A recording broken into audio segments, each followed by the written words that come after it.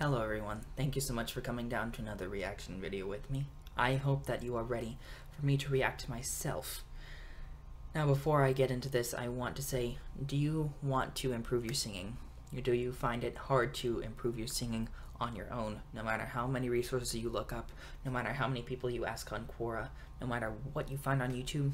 Then make sure you head on over to my website where I have not only a course about singing, but also step by step how you can go from basics slash good to pro. There are not just ways on how to sing, but also different things that I will break down for you that involve different paths after you learn the basics you can branch out to, such as harmonizing, singing classical music, singing musical theater, singing jazz, singing whistle notes like Mariah Carey. You can find a lot of good stuff there, so I highly recommend you go to my website, the link is right here if you want to. And with that out of the way, let me say just one more thing. If you enjoy what you're about to see, make sure you give this video a thumbs up, subscribe down below, and click the notification bell next to it. And if you want a particular reaction for me to do for you, make sure you comment that in the comments section below this video, and let me break down what I am reacting to. This is called Sing Better in Seconds on this vocal coach's YouTube channel. When the pandemic hit of COVID-19, she could not go out anymore and talk to strangers and ask them to sing better in seconds with her. So she started doing it virtually with her subscribers. And she's still doing it.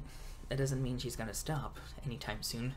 but that also meant that you had a certain way that you could do it, and the way that you are to do it is by subscribing to her YouTube channel, following her Instagram, and liking the hashtag social distancing post, the most recent one, and then comment below that who you are, where you're from, and what you want to get out of this series if you were to be selected. And she selected me for this one, and I'm going to be reacting to it. So, her name is Tara Simon. Her YouTube channel is Tara Simon Studios. Let's begin.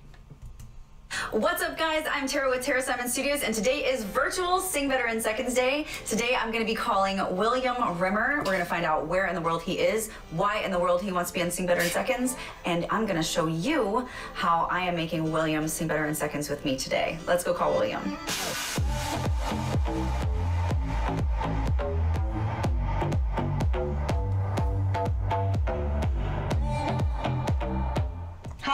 Before we even start the content of this video, I want to make sure that you realize that was an intro video. She's been on YouTube for quite a while, and it's just the fact that she's been doing that type of series for so long that she was even able to make an intro video to the series. I think you should really check her out because she knows her stuff, especially since she's the one and only person who has fixed me with what she's about to show me in this video.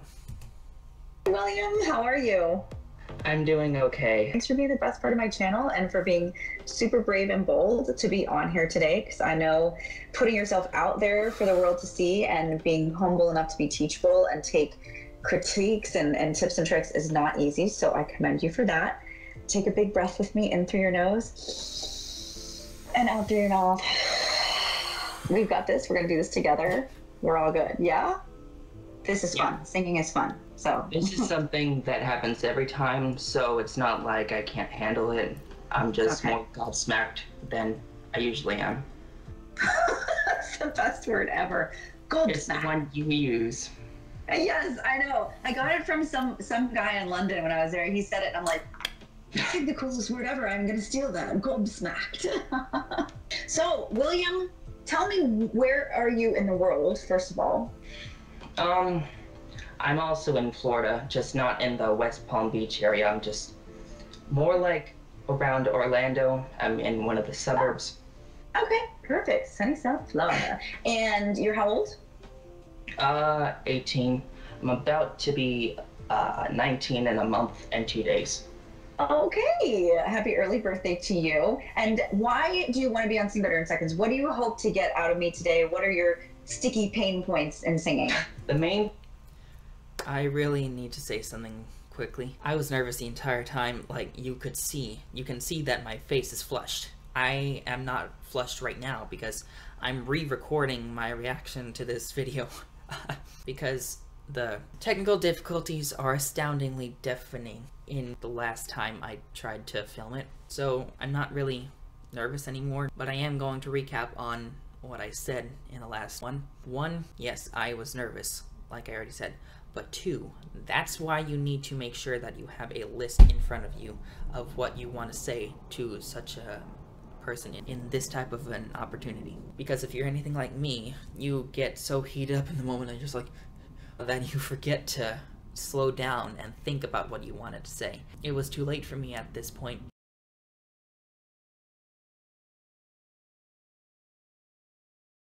Anyway, let's just keep going.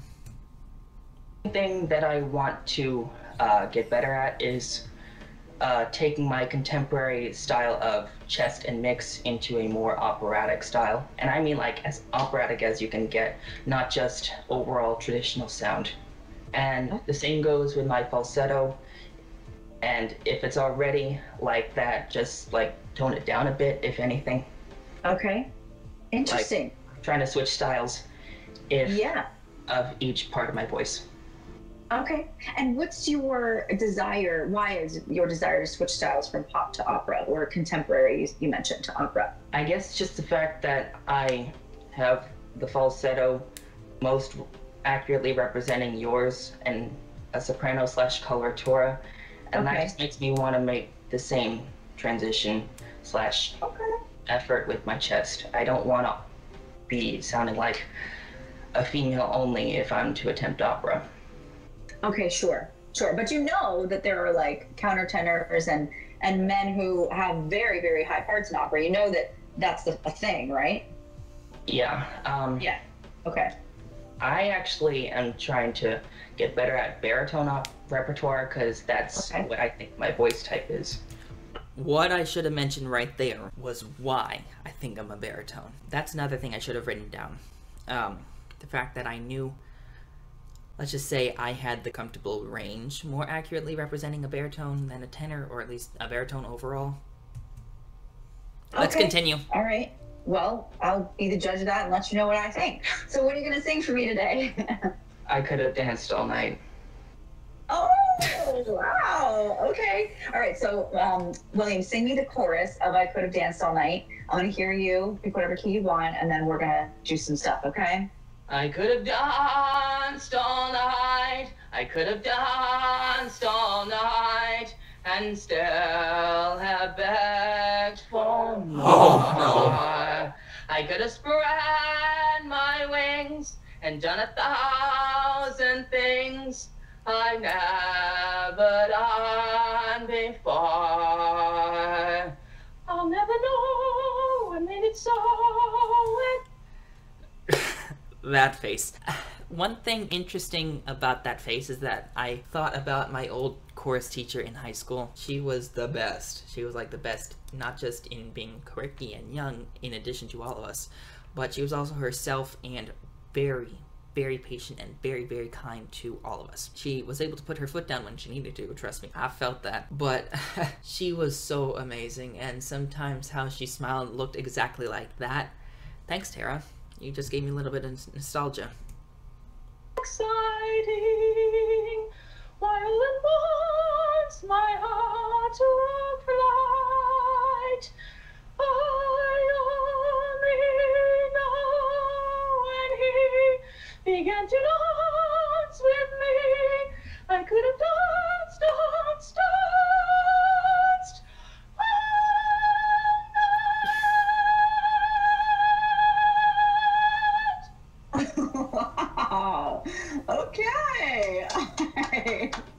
We went way off the octave there, didn't we? Okay. Okay. So, Something I didn't expect when I first watched this. You have different audio than expected. I thought it was going to be the audio from the camera microphone.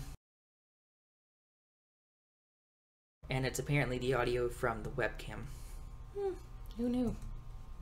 oh, cool that you can show off range like that. Um, and cool that you stayed on pitch a cappella. That's really cool. Um, let's talk about let's talk about vibrato.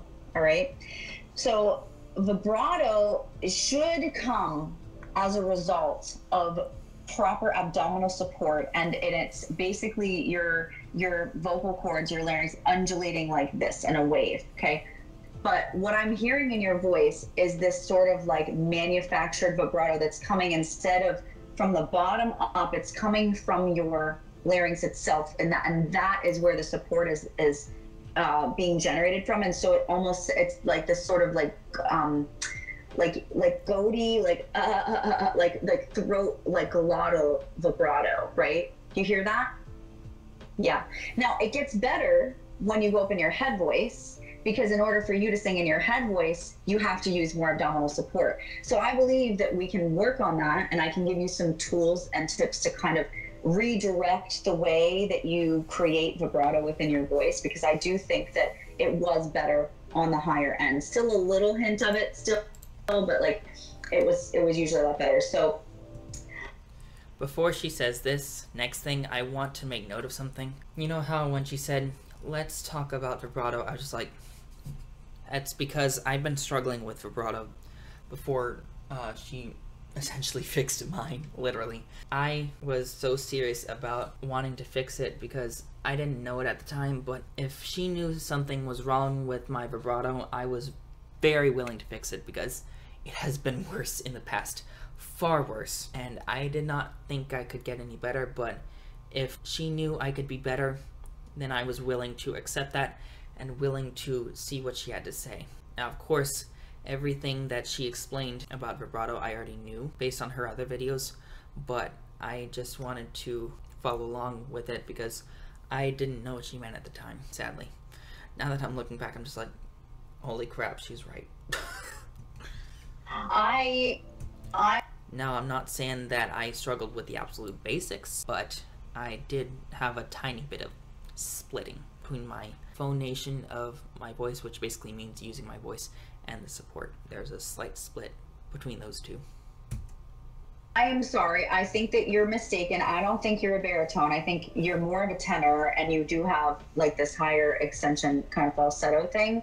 Um, there, it's not necessarily range. A lot of people get this wrong. It's not necessarily range that is what classifies your voice, right? It's it's the timbre and texture, and the the baritone range is it has more depth to it, more a little more beef to it, and and I hear this very nice kind of um kind of forward, clear, crystal, like bellish sound that's thinner in your voice. And that's there's nothing wrong with that. I just, you know, I want to make sure that we're calling a fish a fish and not a fish a bird, you know? So the main thing though for you is not necessarily pitch recognition, it's not range, it's diaphragmatic support that leads to proper vibrato. Does that make sense? Okay. Something I did not understand at that point. She said I was a tenor. Now I'm starting to see it. But the only reason why I didn't see it was because I naturally have a better grip of the lower end and lowest notes of my tenor range than I do my highest. I mean, for crying out loud, I haven't even been able to hit a full-on high C before. Yeah, I'm a true tenor, and yet I can't hit a high C without flipping to falsetto.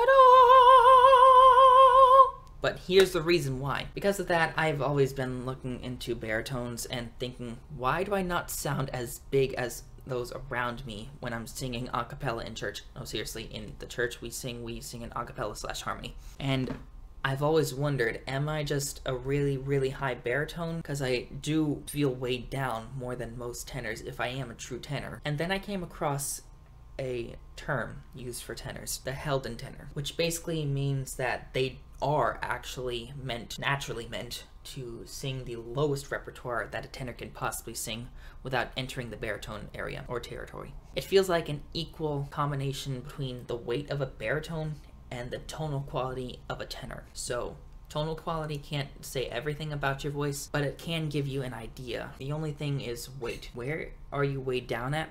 most often? Where do you find it difficult to transition no matter how good your training becomes? Where do you find it most difficult to transition through no matter how good of a singer you are and how much intuition you have with your voice and how low can you sing because of that weight. I've definitely felt like I had a, let's just say, more floaty voice than those around me, so that might have to do with my current stature, which is thin man and still tall enough to be able to sing low. But I don't, I don't know. I'm just saying I don't know. I ain't a baritone Martin because I can't go above the G below high C very well. I mean, I can sometimes get it a whole tone higher than that on a good day, a solid whole tone, but yeah, I just I just can't sing as high as most tenors very easily. It's so weird. I am a tenor, but I can't sing like most of them. So basically, I'm saying that's why I felt like she was wrong. But now I can see that it's up to the person in question at this point because I could be a baritone for all I know. I could be a tenor for all I know. I'm just listening to my voice and how it feels on that day, which is something that you should listen to more often than labels. Labels are important for determining your limitations naturally and thinking, oh, that's why but it shouldn't define who you are as a singer. So you're willing to try to work on that?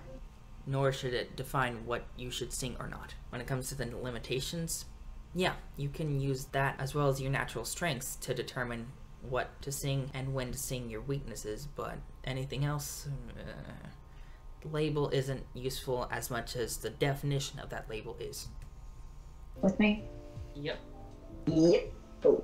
Okay, all right, let's do it. So, um, what I first want you to do, we're, we're just going to, and, and by the way, for those of you who are watching, I don't have expectations of William being able to to shift this this very like ingrained habit today. But what you're going to see today is hopefully um, the beginnings of him being able to hear what it, how it is, and feel how it is to do it right, and then build that muscle memory in so that he can implement that specific technique and modification into a song and be able to do it throughout. So I just want the first line. I could have danced all night, and really, that long hold on danced is what I'm looking to improve on. So instead of I could have done, where it's coming from your throat, okay, I want you to just, without vibrato, hold the note this time. I could have danced all night. Let's try not even to do vibrato for a second and see what that looks, feels, and sounds like. Okay. It down. I could have danced all night. Uh, you hear it wanting to come in though, uh, uh, a little stutter. That was good on dance. The all night was all night, a little bit. Um, I'm gonna have to do that again to try to hear it. Try I could have danced all night. Better, better. Yep. Mm-hmm, good. Now, are you sitting or standing? I'm sitting.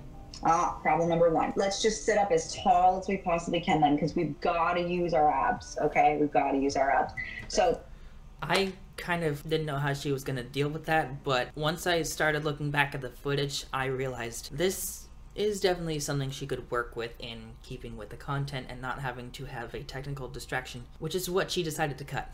Basically, based on how the situation was set up, technically speaking, she was like, can you do this? And I was like, uh, no, it's because of this technical situation. And she's like, ah, gotcha. And that's when she cut back to where she was talking about. I want you to, as you go into I could have danced, I want to, I want you to push into your diaphragm like someone's giving you the Heimlich maneuver in and up. I could have danced. I did vibrato because it's habit, but I could have danced all night. Okay. I could have danced all night. Good. Now on night, don't go wide, go long. All night. I could have danced all night. Good. Good. Okay. Now, without trying to add vibrato, just think of relaxing the straight tone. That's it. We're not relaxing the straight tone into vibrato. We're just, if vibrato happens, great, but we're just thinking of relaxing the straight tone. And whatever happens, whether it continues to be straight tone or not, it's fine. Let's just have that thought. Same thing, different thought. I could have danced all night. Good, good. Do it one more time like that. I could have danced. Good, good, good. I little, I want a little more awe in your night. It's a little more night. It's a little whiny. I want all night. I could have danced all night. That was better. Good. So I still hear a little. Like she said, go a little bit longer. So I like really emphasized it, not just in my mind, but physically too. I didn't even expect it to be that long once I look back at the footage. I could have danced all night little bit of the throat in there. Um, and this is again, this is going to be something that's a long-term kind of kind of effort here, William, because this is something that I can tell you've been doing for a really long time. But I, I can say this: This thing right here, operatic vibrato, of course, is what I just showed everything is diaphragmatic. It comes from the when she was having me do the long space to happen. It's also going to be something that's in the course. If you wanted to see what I just did, what in the world I just did here.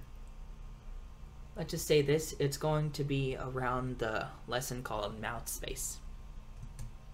depths, the, the, even the pelvic floor up. Forget about the diaphragm, which is above that, right? It comes from the depths all the way up. And right now, the way that you're producing sound is very throat up.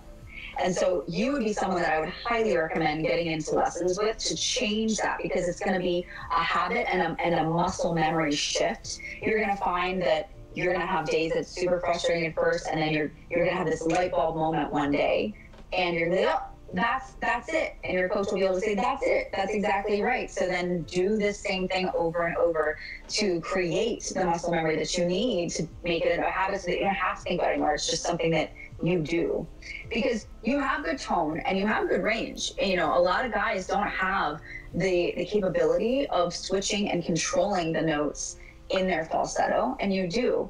But we got to get that vibrato reined in for sure because the way it's being produced right now isn't healthy for your voice and it's not sonically pleasing to the ear, especially if you're wanting to change from something more contemporary to opera. Does that make sense?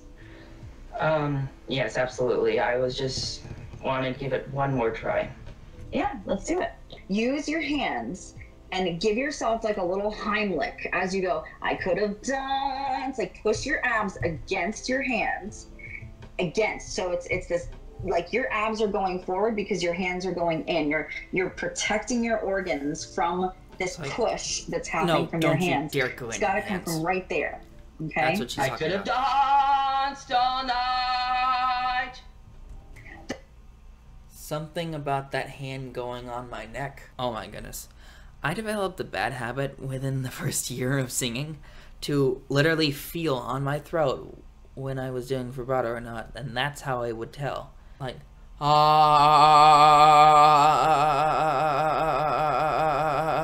and I thought that's what it would be like to see if I was doing it right or not. When in reality, I should have been focusing on this and letting it come naturally, such as like this.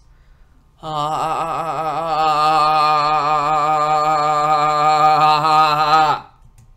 night was better. Did you hear how the vibrato came from the night?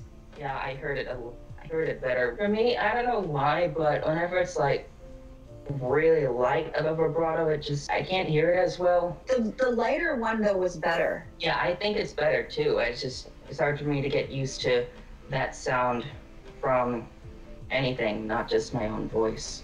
Now, when I said that, I just meant trying to notice people's vibrato when it's in the background. Because sometimes when I would be listening to certain songs, it would be noticeable at first because I was just like, wow, what an amazing singer. And all I would notice about them was their vibrato. Obviously, their tone and their vocal registration transitions were amazing, but the one thing I was talking about there was understanding when and where the vibrato of other singers was coming from. It was like barely noticeable. It was like so much in the background that I was like, am, am I going crazy? So I felt like to prevent that, I had to start amplifying mine. But you don't amplify it, you can increase the amplitude, such as going from like to but you really shouldn't be trying to make it overtly stuttery just for people to notice. Mm, okay, right, and you're pointing to here when Something about her face, though, was quite interesting. It looked like she was mad at me. Amazing. you're saying that, like you know that it's come the other vibrato is coming from here. Mainly, yeah. Yeah, because you can feel it. I mean, I, I could feel. Oh, God, I can totally feel where that's coming from. Dance versus da. It's like almost like a stutter versus a wave, and we want the wave. That's what vibrato is by definition. We don't want a stutter. We want a wave. So the night, that is a little bit of that light bulb turning on. We want that everywhere. It doesn't have to be vibrato. Doesn't have to be this overt, prevalent thing, guys. It's just sort of like an accessory to your voice. It is not the main article of clothing. Sorry, okay, it's like you know a cute earring. or something, you Yeah. know? Little hairband. I don't know. For a guy, like a bow tie, you know? Yeah. Okay. So I think for you, it's all about the diaphragm. I, for someone, if you're like William, I would recommend doing crunches a day, planks, really getting your, your muscle memory engagement from your mind to your diaphragm and your, your core, like your clock muscles in your core. That's what's going to create the vibrato from the ground up, not from the throat up, to get rid of that stutter and start moving into that wave. Does that make sense, William? Yeah. And any Yeah. chance I can just do it on a lower note? Like to make Sure, you can try it. Ah. Is that better? That's much better. Yes. So you know you have it in you. You just need to be able to take that, do it one more time. Ah. Yeah. yeah. Good. Good. Now you It's so the funny how she's zooming- coming from versus the other. Yeah. It's so funny how she's being cropped in like that just because of her reactions. I love it. Big difference. One's a wave, one's a stutter. Yeah. Yeah. Let's call it what it is. It's fine. She said, let's call it what it is. It's fine. it's because she could tell that I was being like, mm, okay. oh my goodness, how she has such patience for all of us.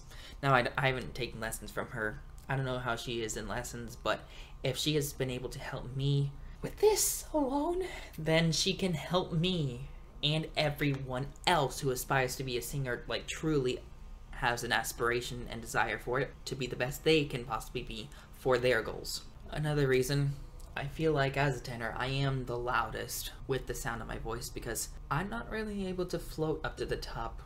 I mean, I can go high like tenors and enter the generally accepted tenor range to an extent, but it's going to be touched the way a baritone would touch it because I can't really go that high, and that's why I thought it was a baritone. Now, I didn't know there was such a thing as a tenor that would be limited in such a way, such as the Helden tenor, but if I am generally a tenor to other people's ears, then I finally found a term that also comes to terms with my vocal anatomy. Fine. So you need to be able to take that and move your move that capability up and down in your range. Does it And I'm not saying that as like, oh, I'm limited, I'm limited, I can't do anything. No, it does not matter how much training I have with a certain note. It's always going to be limiting because I can't sing that high that easily like other tenors. I'm not going to be able to float up to the top. I literally have to make the same amount of space as a baritone to be able to hit those notes. Like, if I'm to properly hold out something like this, ah, and not crack. I wasn't even trying to crack. I have to be like, ah. No joke. Do not think that I am giving myself excessive credit and thinking that I'm mistaken. I know my voice, so I am not kidding when I say that it does not matter the training. This is how my voice is naturally, and it has always been that way since trying to sing better overall in my chest voice. It doesn't have to be right away, but if you can just go uh uh uh and see what happens, see where you tap out at. And that's where you strive to stretch to every day. Let's just say this. Whenever I'm going to notes placed like this, ah, or ah, without flipping, yes, I try to get and keep those types of notes in my mix. Mhm. It feels much more like what you had me try to get in my voice on a regular note. It has to be that type of vibrato on those higher notes. Right. That's Sorry, why I keep said in your it. head voice it happens because in order for you I have to let it play you're to get the I mean, whole it takes- picture. it takes abdominal engagement for everybody, but in order to sing in a pure tone head voice, it just takes abdominal engagement, especially for a male. So that's why your vibrato was more of a wave than a stutter up top because you were coming from the right spot. But in that chest, it was like your body was cut in half. Here's something that I think she missed when I was saying it has to be that. I meant if you were going to sing or in chest voice. So yeah. That's what I'm talking about. Also, I'm keeping it quiet for the fact that I have people talking and I don't want to interrupt their conversation. And I'm not going to even attempt that note above, but that's the concept I meant when I was explaining myself. And she thought I meant like.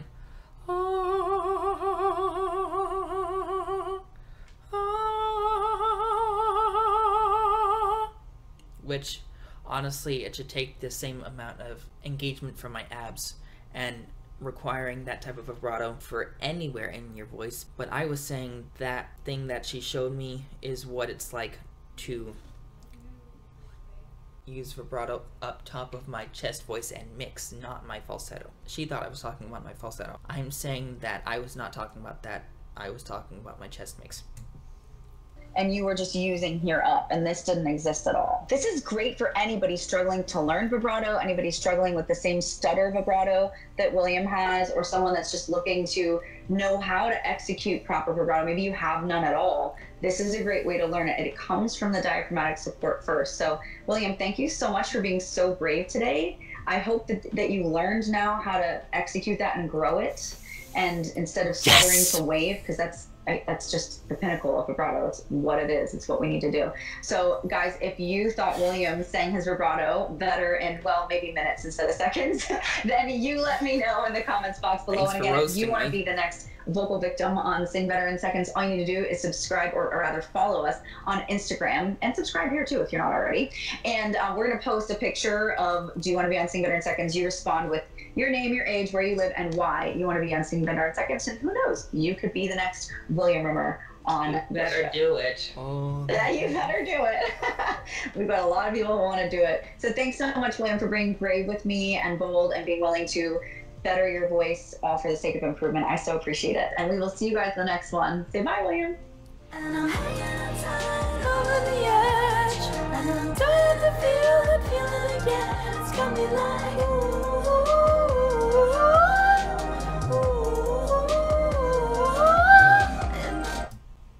That's her song, by the way, Ecstasy. Alright, well, maybe you learned something or not. Who knows, honestly, but I hope that you enjoyed this video and I hope that you learned something from it because I know I did when I went through this one. I don't know about reacting to it. I don't think I learned anything but the fact that, oh crap, I was an idiot. As everyone feels that way when they react to old footage of themselves, especially when it comes to something as personal musically as their own voice. You can definitely see what she was talking about now that I look back at it. I just wish I could see what she was talking about in the moment. But thankful for her I am regardless. I hope that you follow her on Instagram and subscribe to her YouTube channel with that notification bell whether you want to sing better in seconds with her or not. Thank you so much for watching this video. I hope that you enjoyed and I will see you on the next one. Bye!